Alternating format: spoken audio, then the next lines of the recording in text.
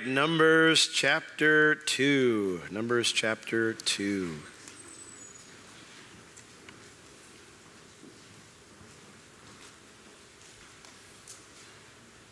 Numbers chapter 2.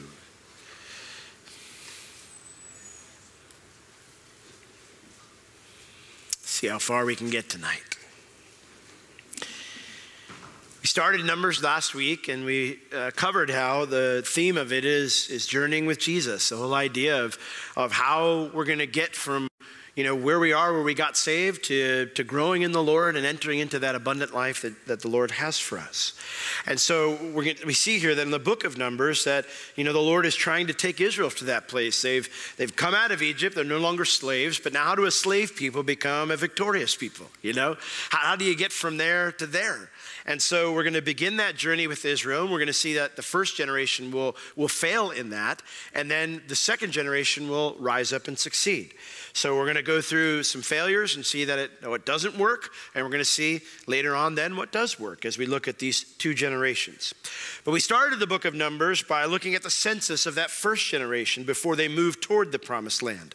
Each tribe was represented by a man whose name, uh, all their names, serve as important reminders uh, if they were going to find success when they reach their destination. And in your bulletin tonight, you may have noticed I put all those in there for you because I had quite a few people ask me and say, oh, I, I couldn't write them all down as you were saying them. So, so you've got them now. And what great encouragement to, you know, kind of put up on the mirror in the bathroom or something or up by the, the fridge just to remind you every day of things you need to remember, you know, if we're going to get from you know, our, our start to our finish, okay?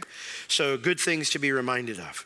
Now, again, even though their goal was to reach their destination, we know how that story ends. They forgot those truths about God, they forgot those truths about each other, and they never made it.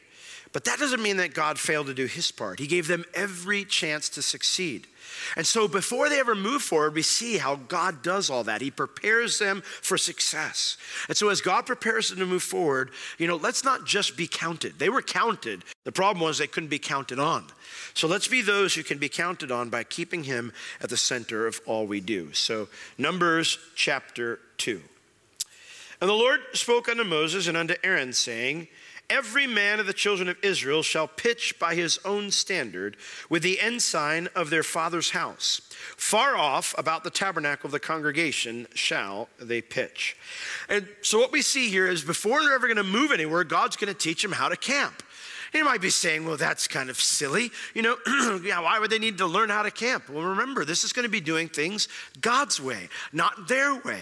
And, you know, and frequently after we get saved, we run into that problem, right? You know, we, we, we understand Jesus loves us, we understand our sins are forgiven, and then the Holy Spirit's living inside of us, and he starts, he starts to, he starts to fiddle, doesn't he?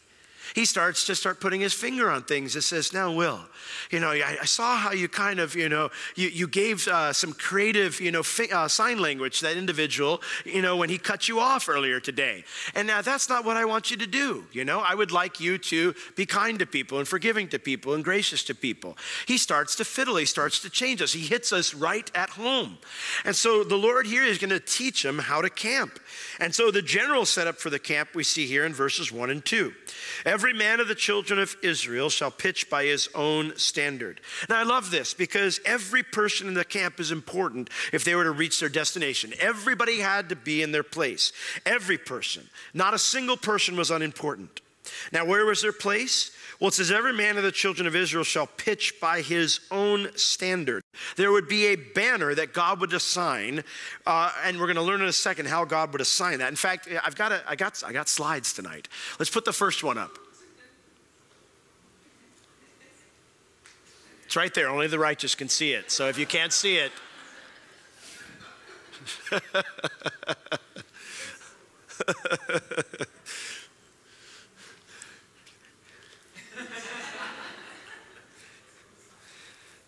My mind's been blank most of the day. Maybe I sent blank slide. There we go. All right. So this is the arrangement of the camp of Israel. And if you'll notice, every side has three tribes, okay? So, and, and every set of three would kind of have like a, a, a, leading tribe that would kind of lead the way. And so there would be a standard that would kind of be their standard. For example, on the east side, you have Judah, Issachar, and Zebulun, and they their standard was the lion, which was Judah's standard. And so that's where you would be. You would be with the lion. So they every man of the children of Israel shall pitch their tent, basically camp out by their own standard. But notice it says, with the ensign of their father's house. So God will assign four banners, one for each side, north, south, east, and west, with three tribes assigned to each banner, but they still need to remain in their tribal camps. So it's like Issachar couldn't blend with Judah. They still needed to stay with Issachar, okay? So they all had to stay with their families, even though they would all be, uh, they'd be on the same side as these two other tribes that they'd be partnered with. And so, uh, you know, this is fascinating because it shows that everyone doesn't do the same thing, but we're all still a part of the whole. The Bible stresses both the importance of the individual and the importance of community. This is a lesson we've actually been learning on in, in 1 Corinthians, which is why Numbers is the companion book in the Old Testament to 1 Corinthians. Just like, remember, Hebrews was the New Testament companion book to Leviticus. Same thing here. Numbers and 1 Corinthians go together. Because, you know, it's important to understand that. See, the Corinth people, they were all about me. It was all about self. And, and, and you know, there's a sense where God loves you, and so you're important because of that. But we should not have this sense of self-importance and this sense of selfishness and, and you know, and, and everything's about me. You are important, but not all by yourself. Both the individual and the community find their goal when every person is where God wants them to be. And so before we even get started into all this stuff tonight, you know, are you being faithful to be where God's placed you? You know, I remember I heard a sermon at Bible college where it was about the grain of wheat that falls into the ground. And it has to, you know, the grain of wheat, if it's going to ever bring forth fruit, has to, it has to die and then bloom where it's been planted, right?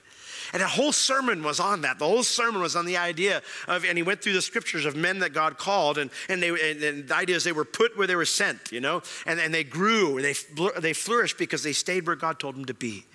You know, and it's, sometimes we, we chafe at where God wants us to be.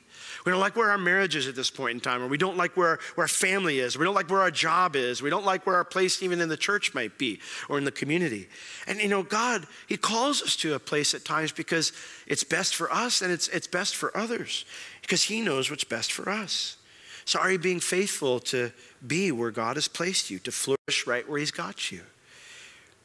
Now, Notice here it mentions that there's one difference between the way our community is ordered and their community. It mentions that they're all going to be around the tabernacle, but it says far off around the tabernacle of the congregation shall they pitch. You know, they had to stay far off with the Levites providing a buffer zone between God and them. We'll learn about that in chapter 3. But the Levites were the buffer zone on the inside. You know, this was to avoid a casual approach to a relationship with God. For too casual approach betrays too minimal a reverence. You know, we're invited to enter God's presence with boldness, right? We're not called to stay far off, right? There's no buffer zone between us and God. There's nothing between us. There's one mediator between God and man, and that's Jesus. And he draws us near, right? We are brought near by the blood of Christ. So we're invited to come right into the Holy of Holies, right into God's presence with boldness, and yet not with casualness. Never casualness. You know, Charles Spurgeon wrote a book about the throne of grace. And one of the things he talks about there is he goes, Isn't it wonderful that we come to a throne of grace? But we must never forget that it's a throne, and on it sits our king. We must never forget that. We come boldly, but we never come casually. We always come respectful and reverential to our Father. Now, verse 3, here we get to the camp. It says, Now on the east side, toward the rising of the sun, shall they of the standard of the camp of Judah pitch throughout their armies. And Nahshon, the son of Amminadab, shall be captain of the children of Judah. We already met him earlier in chapter 1. And his host and those that were numbered of them were threescore and 14,600. You know, at, at, least then it's interesting when you're doing the math, you know, because you got to figure out what in the world does a score mean, you know? And uh, if I remember correctly, it's 20. So the idea here of threescore and 14,000, it would be 74,600 men from the tribe of Judah. So they would be camped there. And those that do pitch next unto him shall be of the tribe of Issachar. And Nethaneel, the son of Zuar, shall be captain of the children of Issachar. And his host and those that were numbered thereof were 54,400. Why didn't it? See, I always wonder why the King James does that sometimes. Why didn't it say two score and 14? I don't know. But somebody's awake. Well, then next will be the tribe of Zebulun, and Eliab, the son of Helon, shall be the captain of the children of Zebulun. And his host and those that were numbered thereof were 57,400. All that were numbered in the camp of Judah were a hundred thousand and fourscore thousand and six thousand. So a hundred and eighty-six thousand and four hundred throughout their armies. These shall set forth first. So Judah's standard became the camp for the first three tribes on the east side Judah, Issachar, Zebulun. Is that right? No. Yes, Judah, Issachar, and Zebulun. And notice here it mentions that they would be next to each other. Now, here it lists them side by side. Um, this is the traditional way of viewing things, but some actually think it was behind each other. I don't know which one it was. The rabbis don't know which one it was. Uh, but I'll give you an interesting thought at the end of the sermon of why it might be the other way and not side by side. But notice here also, it mentions at the end in verse 9 that these were the guys who would set forth first. This was the largest of the four camps. So they led the way when the host traveled. These were the guys who were the foreguard. They were in the front. They led the way. This is also in accord with Jacob's prophecy that Judah would get the prominence among his older sons because Reuben, Simeon, and Levi were disqualified by their wicked behavior. Now, you might be sitting there thinking to yourself, oh, wait a second, Will. I know the story of, of Judah. Didn't he do wickedly with Tamar? I mean, he ended up, you know, sleeping with her, you know, and she was his daughter in law, you know? Well, yes, he did. But he also repented. Later on, remember when Benjamin came to Egypt, Judah offered his own life to spare Benjamin so that he could go home. Isn't that the same thing that Jesus does for us? He offers his life that we might be spared. And so, as Judah gets the preeminence among the tribes, so Jesus, the lion of the tribe of Judah, he is the head of the church. It is he who leads us on this journey. It is our job to follow him. He sets forth first, and we follow him. Amen? Well, the next camp is the southern camp, verse 10. And on the south side shall be the standard of the camp of Reuben, according to their armies. So again, we have some redemption here for Reuben, because even though he is originally the firstborn, and but that blessing was removed because of his sin, Jacob gave it to Judah. Here we see him, though, he's still one of the leading tribes. On the south side shall be the standard of the camp of, of Reuben, according to their armies. And the captain of the children of Reuben shall be Eliezer, the son of Shedeur. And his host and those that were numbered thereof were 46,500, much less than Judah. And those that who, which pitch by him shall be of the tribe of Simeon. And the captain of the children of Simeon shall be Shelumiel, the son of Zurishaddai. And his host and those that were numbered of them were 59,300. Then next, the tribe of Gad, and the certain captain of the tri- sons of Gad shall be Eliasaph, the son of Reuel, and his host and those that were numbered of them were 40 and 5,000 and 650. All that were numbered in the camp of Reuben were 100,000 and 51,450 throughout their armies, and they shall set forth in the second rank. So they camped on the south here, and you see their numbers there. So they've got a total of 151,000, so about 35,000 less than the east. So they would go second. When they would march, it would be the east side first, then the south side. So anybody from the east side? All right, you're still awake. Okay, good. Had a few more chuckles that time. All right, now we get to the middle camp, verse 17. Then the tabernacle of the congregation shall set forward with the camp of the Levites in the midst of the camp, in the middle. As they encamp, so shall they set forward, every man in his place by their standards. So the Lord's camp would always be in the center of their march. In the center of their camp would be the tabernacle. That's where God's presence, his Shekinah glory, would dwell. Surrounding the tabernacle would be the Levites and then the rest of the tribes of Israel. So first would march the camp of Judah with their three tribes, then the camp of Reuben with their three tribes, and then the middle would pick up and they would begin uh, to, to move out right in the center, right in the midst. So the Lord's camp would always be at the center of their marches, with six tribes in front and six tribes behind.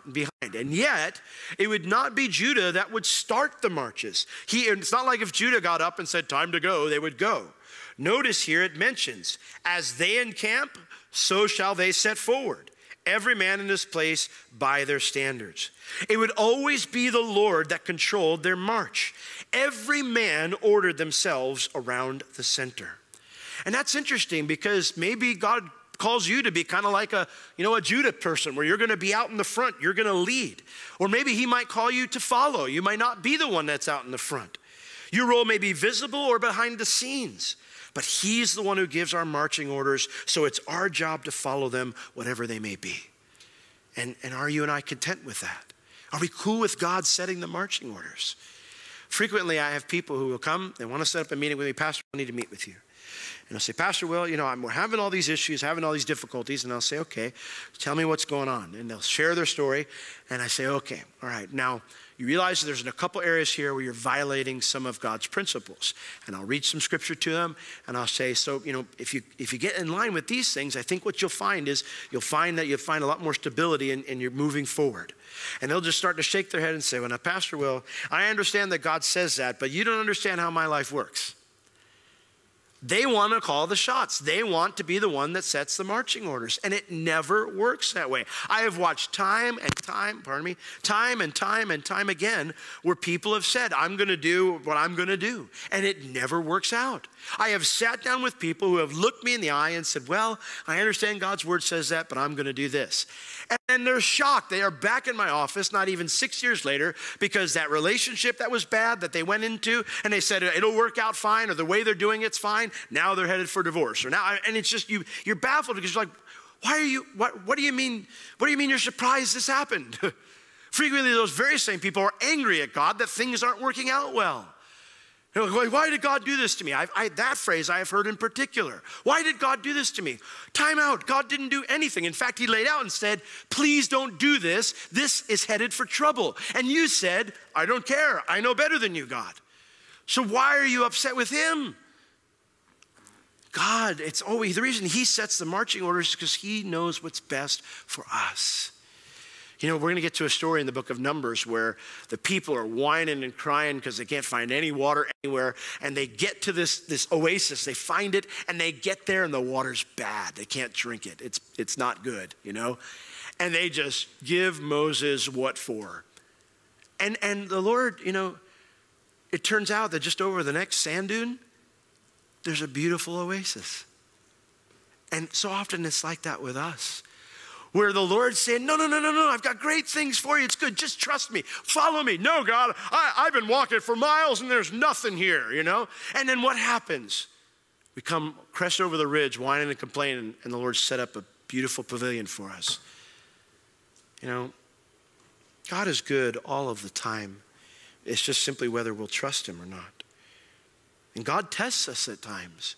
You know, will you walk with me even when it's desert? Will you walk with me when you don't see how I'm working? Will you trust me that I love you and I'm going to take care of you? Are we content with that? We need to be. Well, the next camp is the west side. And on the west side shall be the standard of the camp of Ephraim, according to their armies. And the captain of the sons of Ephraim shall be Elishama, the son of Ammihud. And his host and those that were numbered of them were 40,500. and by him, or next to him, shall be the tribe of Manasseh. And the captain of the ch- children of Manasseh shall be Gamaliel, the son of Pedazur. And his host and those that were numbered of them were 32,200. You can see the numbers up there.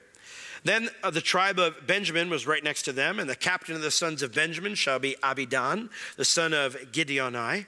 And his host and those that were numbered of them were 30 and 5,400. All that were numbered of the camp of Ephraim were 100,000 and 8,000 and, and 100 throughout their armies, and they shall go forward in the third rank. So after the middle camp is moving, then it says the next camp, the west camp, will pick up, and they had 108,000. Uh, I'm sorry, yeah, 108,100. So they will be third. Now, what's interesting about that camp is they were they were very small. In fact, uh, they're the smallest of the three camps that are up there. And, uh, and that just goes to show you that, uh, you know, the Lord doesn't count the smallest last.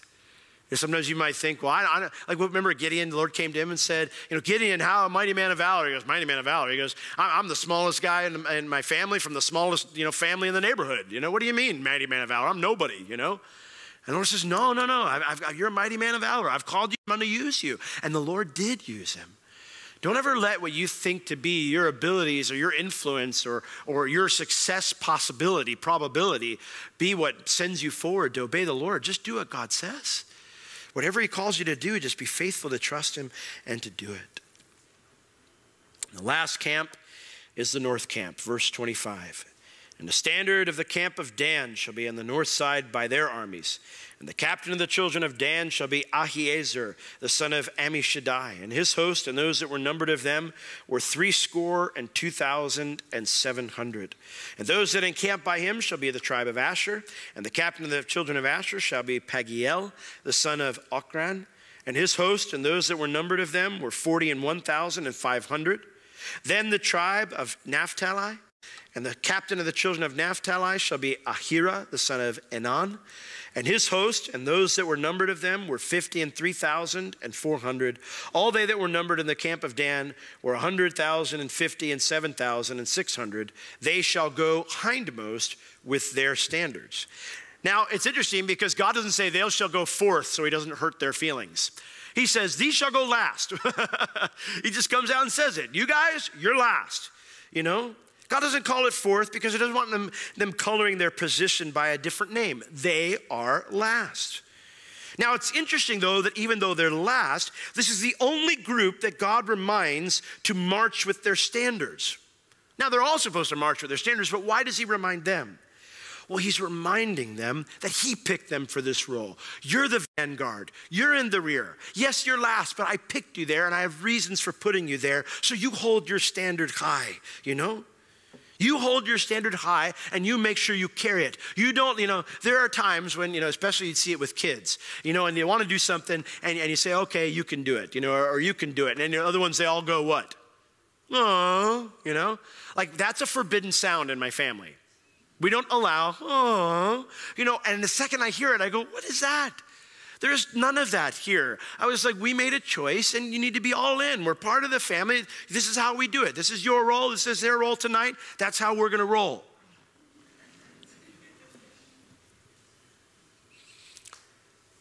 And God didn't want them doing that. Last, you know, we get to pull up the rear, you know. We're not ever going to get to see, everybody gets to see everything before us. Everybody gets to, you know, go somewhere before we get there. You know, and, and Reuben's slow as all get out. There's a difference between grudgingly doing what God tells you and proudly carrying your banner for Him, whatever it may be. You know, it's interesting. I always chuckle that I have a public ministry in the sense that I, I'm up front. Like, you have to listen to me for the next however many minutes. That baffles me because that's not a role I crave. I like being more behind the scenes, just doing the quiet stuff. I like stacking chairs, cleaning up. You know, that's where my heart was always at. I had no desire to be a pastor. You know, but God frequently puts us in the places that He knows are best for us, the place where we'll know Him better and have to trust Him more. And God wants us not to grudgingly do those things, but to proudly carry the banner He's put before us and to say, Lord, I will do whatever you call me to do, and I'm happy to do so, you know? You call me to be last, be the vanguard, I'll be the vanguard, you know? And have you embraced the role that God's given to you? It sounds like a broken record tonight, doesn't it? All of these things are possible when I keep Jesus at the center, to have that right attitude. But when I don't have that right attitude, pride, hurt, frustration, they all start to creep in. Why didn't Pastor Will pick me for that job? I, people, I offend people all the time without realizing it, you know? And I, I'll say, someone will come to me and say, hey, I've got this idea to do this, this, and this, and this, and this. And I say, oh, great, run with it. You know, and someone else comes to you and says, well, Pastor Will, I wanted to do that. Why didn't you ask me to do that? I'd have done that for the last three years, you know? I, I didn't know you wanted to do that, you know? But that's the problem when we don't embrace the role that God's given to us. Say, Lord, I'm cool with whatever you got for me. Pride and hurt and all those things, frustration, they start to creep in. And I would encourage you tonight, you know, if that's already been the case with you, it's time to put Jesus in the center of all you do again you know because really in the end your problem isn't with with you know your boss or with you know your, your, your community neighborhood leader or, you know or your parents or you know or, or your spouse or me. You know your, your problem is, is with him. Promotion doesn't come from the east or the west. It comes from the lord. What i found is if you just keep trucking and being faithful the lord raises you up in his perfect time. In his perfect time. So let's see if they can get the first part right. Verse 32 These are those which were numbered of the children of Israel by the house of their fathers. All those that were numbered of the camps throughout their host were 600,000 and 3,550. But the Levites were not numbered among the children of Israel as the Lord commanded Moses. God told Moses, don't count them. We'll find out in chapter 3. And the children of Israel, what? They did according to all that the Lord commanded Moses. Yay! Be the only thing they get right. So they pitched their, by their standards. They ordered themselves in the way that Moses said. And so they set forward, everyone after their families, according to the house of their fathers. They started it off right. A good start. While a good start's important, God, though, is more interested in how you and I finish. Turn to Matthew 21 with me. Matthew 21. You know, it's interesting if we, before the Lord tarries, if we ever get to the kings in the Old Testament, we're going to see so many kings that started awesome, like they, like Asa, Uzziah, guys that were just godly men and brought reforms in their nation and did great things, mighty men of God, and they finished horribly. They died old, bitter, grumpy, disobedient men. And God does not desire that for us. He wants us to finish well. Matthew 21, verses 28 to 32 the religious leaders had questioned Jesus' authority. And so Jesus poses to them a, a, parable, a question in the form of a parable. He says, Guys, what do you think? He said, A certain man had two sons, verse 28. He came to the first and said, Son, go to work today in my vineyard. But the son answered and said, I will not. But afterward he repented and he went. Now he came to the second son and said likewise. And the second son said, All right, I'll go, sir. But he didn't go. Whither of them twain did the will of his father? Which of the two did what his, God, his dad wanted him to do? Well, they to him, Well, the first, of course, even though he started off bad, he finished well, he repented. Jesus said to them, Verily I say unto you, that the publicans and the harlots go into the kingdom of God before you. For John came unto you in the way of righteousness, and you believed him not. But the publicans and the harlots, they believed him.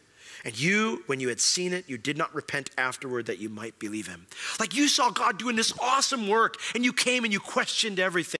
Instead of going, you know, oh, maybe we got this wrong. The sinners are coming and repenting. They're coming to God. But that offends us because, well, then we'll be in the same boat as the sinners. So we don't want to do that. We don't want to be publicly shamed and, and, and grouped with the sinners. So we're going to question everything John the Baptist does, even though we know he's from God. He says, You know what you guys are? You're like that son that God said, Hey, go do this. This is how I want you to live. And they said, All right, God, we'll do whatever you say. But then you do whatever you want. He said, I'd rather you be these guys who God said, Do this. And they said, No, I'm going to do it my own way. And then the Lord convicted them and they repented and they went and did it God's way. You know, a good start is great, but God's very interested in how you and I finish. And so, you know, if the Lord were to take you home today, would you be able to say you finished well? You know, we had Jane and Marty's memorial this week, and I tell you, I, after it was all over, it was quite a bit emotional for me personally. And uh, I just was reminded, you know, we had a, I had a Sunday school teacher when I was newly saved, and uh, she had us do this, uh, you know, this project where you know, we needed to write down what would you like your tombstone to say?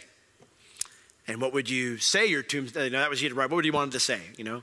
And then afterwards said, now what do you think people would write on your tombstone? and I was a messed up teenager at the time, you know? So I wrote down, what do I think people would write down on my tombstone is, this was a guy who had no clue where he was going and wasn't making anywhere and he just died, you know? What did I want people to say? That I finished well. I knew where the Lord you know, wanted me to go, and I followed him every step of the way.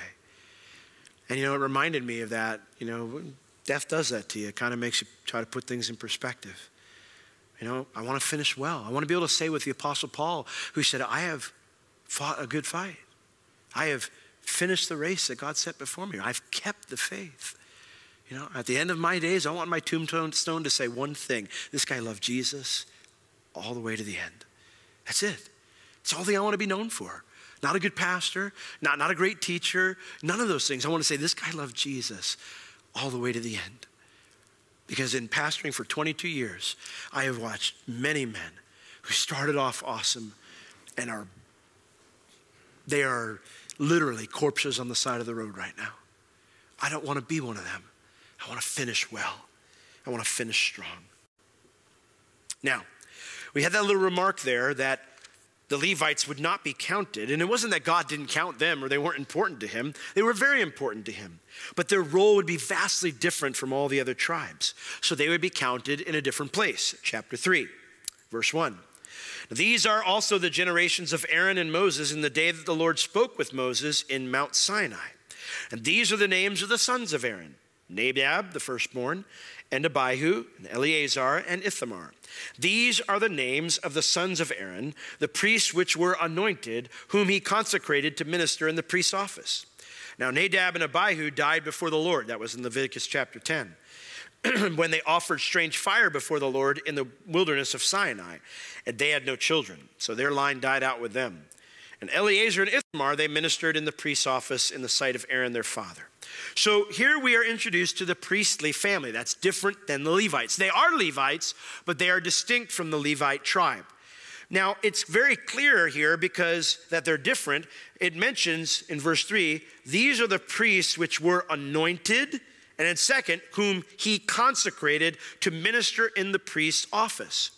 No one else was smeared with the anointing oil to do that job. No one else was dedicated by God to this service like they were in Exodus 28. Why is that important?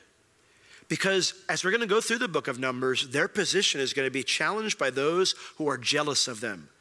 So the second generation, remember the recipients of this book, by the time this book's written, all that first generation's dead except for Joshua, Caleb, Moses. So the second generation who's reading, they needed to understand that from the start, God picked Aaron's family. Not Moses. That was not, well, Moses, you picked him because he's your brother. No, God picked him. In fact, I think after the whole golden calf fiasco, Moses probably wanted nothing to do with that.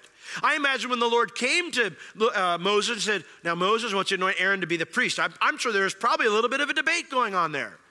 I don't want him to be my sidekick. He's a bad sidekick, you know. you know, and yet the Lord says, "No, I've called him to this. I want to restore him. I want him to do this. So God chose Aaron and his family, not Moses, not the nation. There was no vote. You know, it wasn't like, you know, you know, Aaron won the electoral vote. You know, that's not how it worked. Right? He didn't take Florida and it was it, you know. God picked them.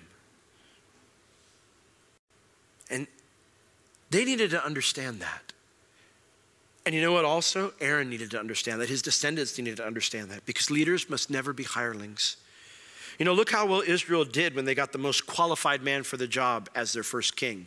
Remember, Saul stood what? Head and shoulders above every other man. He was head and shoulders above every other man. He was the most qualified guy for the job of king.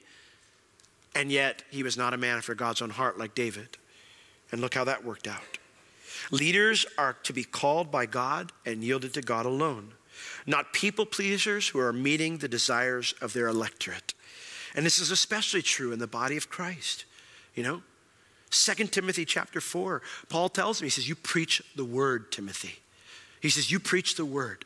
Because there's going to come a time when men are not going to listen to sound doctrine and they're going to heap up after themselves, pile up. And they're going to be piles of these guys. They're going to be one on every corner those who will tickle their ears, who will teach what they want to hear, say what will make them feel good, you know? And they'll have million dollar smiles and it'll be great.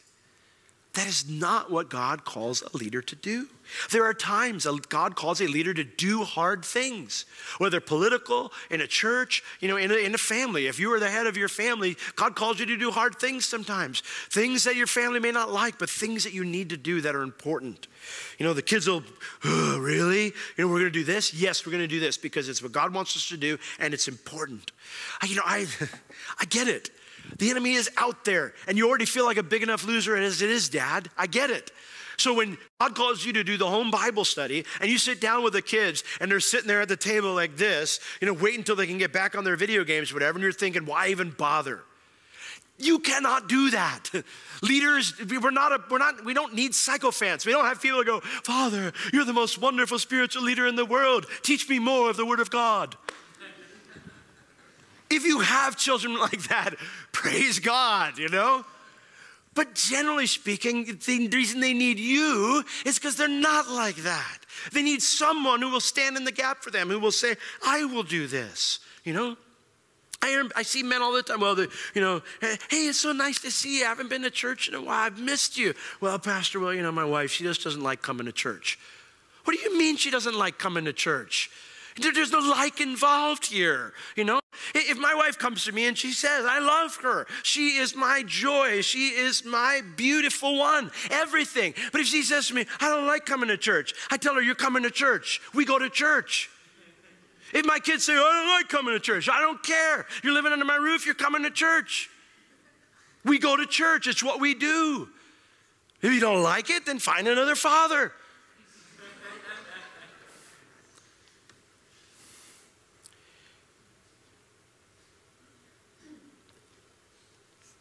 God calls leaders to lead. And sometimes that means doing hard things. You don't be rude about it. I'm being silly right now, but you know, with kindness and gentleness, you, you address the situation. You know, you would speak to that spouse or your kids and go, listen, you, there's no option here where we don't go to church. We don't, you know, we, we don't walk with the Lord here. Like, that's not the option. What is the problem? Like, what's the challenge? What's the difficulty? You know, well, I don't think anybody likes me. Okay, well, is that the Lord or is that the enemy telling you that? You know, I don't, I don't feel like I'm a part. Okay, well, let's, let's find a way to feel a part. How can I come alongside and help you with that? You know, you can't back down just because it's hard. You can't back down just because it's hard. Leaders have to lead.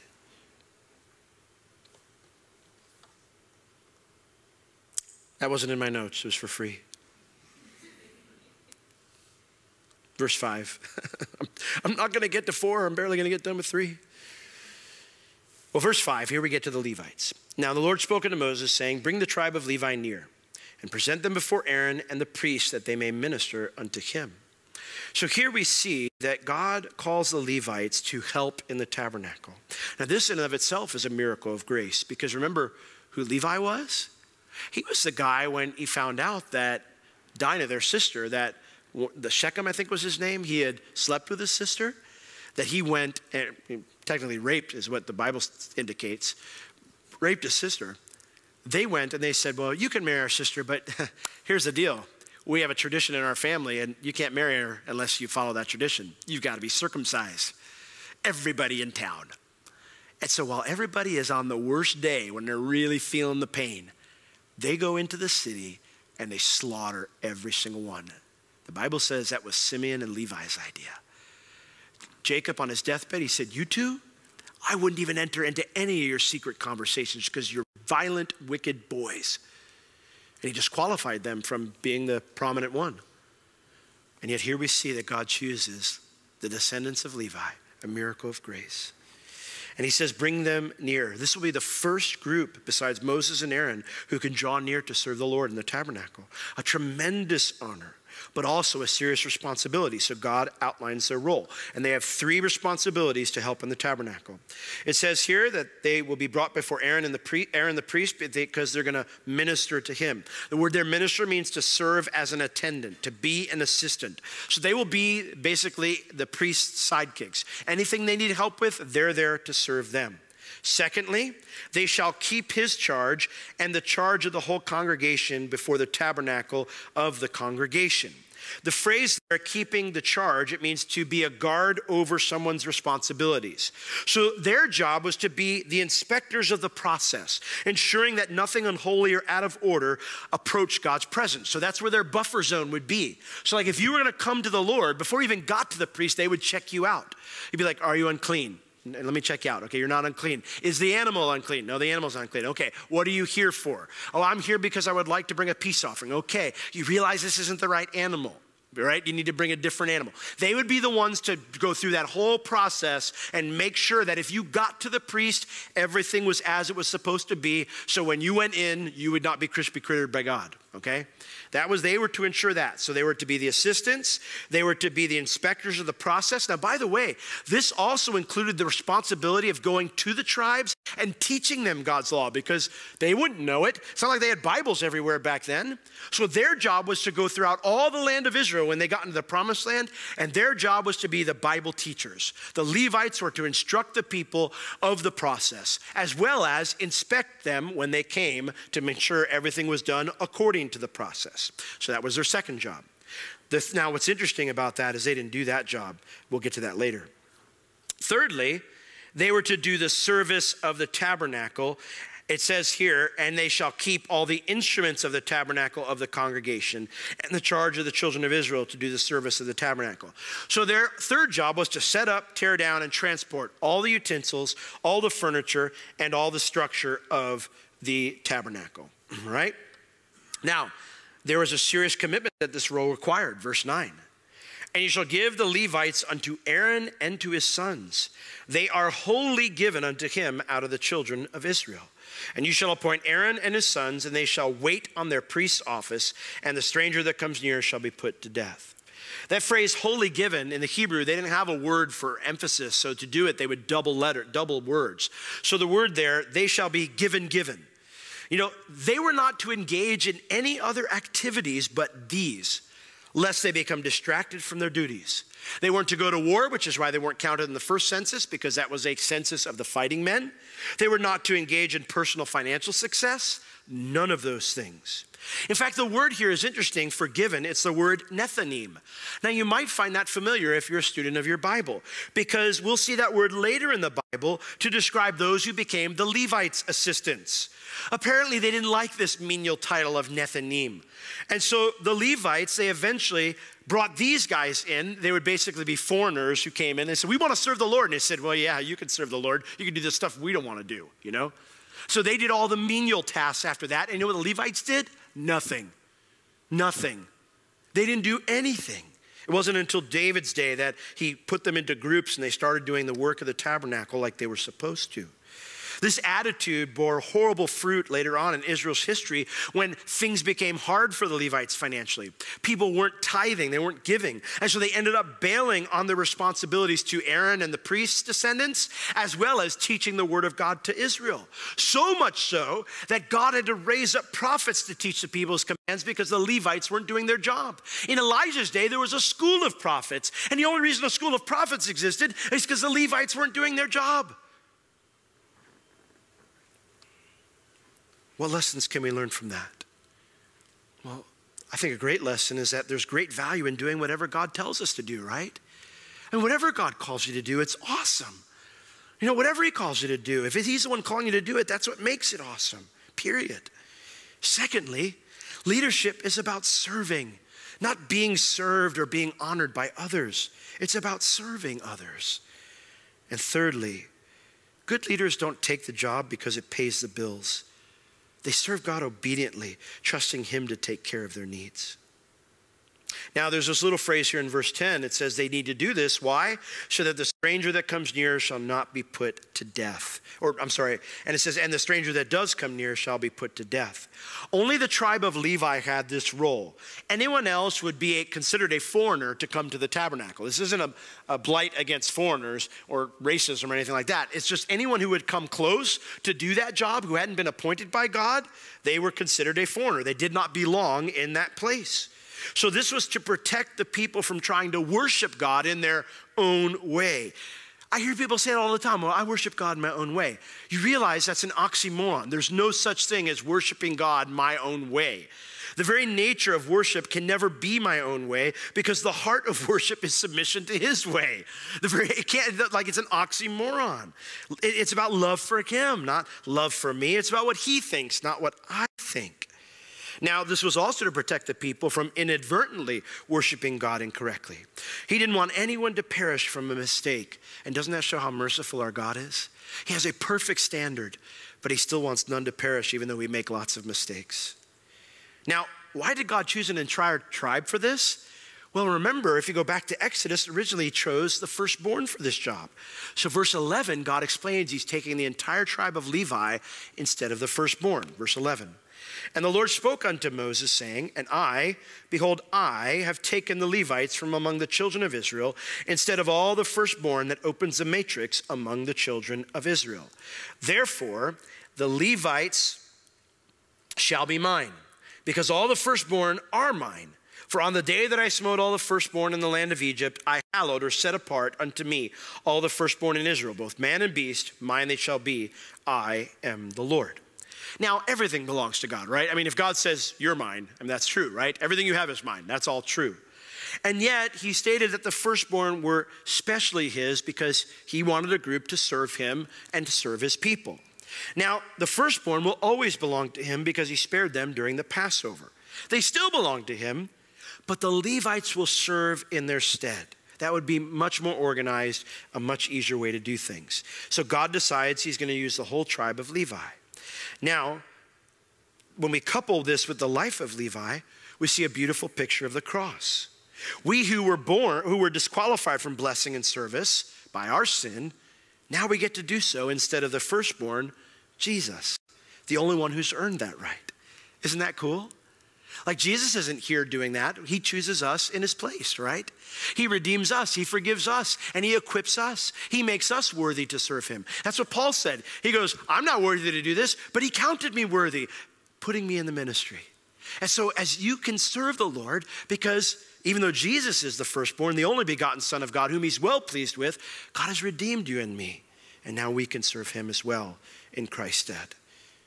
Now, that their role's been settled, the counting must be done, and they must be given their specific responsibilities in the camp. So, verse 14 And the Lord spoke unto Moses in the wilderness of Sinai, saying, Number or count the children of Israel, Levi after the house of their fathers by their families. Every male from a month old and upward shall you number them. And Moses numbered them according to the word of the Lord as he was commanded. So here we see that Moses does exactly what God tells him to do. It mentions here that they would be counted differently than the soldiers. This would be every male from a month old and upward. So, since this is for the purpose of serving and not fighting, every male could be counted on since they'll eventually serve. And I love this here that Moses says he numbered them according to the word of the Lord as he was commanded. And I don't know about you, but I want to do everything I do in life. I want to do it because it's according to God's word. Amen? You know, that's the best place to be, right where God tells us to be in His Word. So, anyway, I have more, but that's a good stopping point. As much as I would like to keep going, it's late. So, we'll pick it up here in verse 18 as we learn more about the Levites in chapter 3 and chapter 4 next. Well, not next week. We'll be at the beach next week, but then two weeks from tonight, uh, we will reconvene in verse 18 of chapter 3 in Numbers. So read chapter 3 and 4 for next week, and sometime in the next couple of years, we'll get done with Numbers. Let's all stand.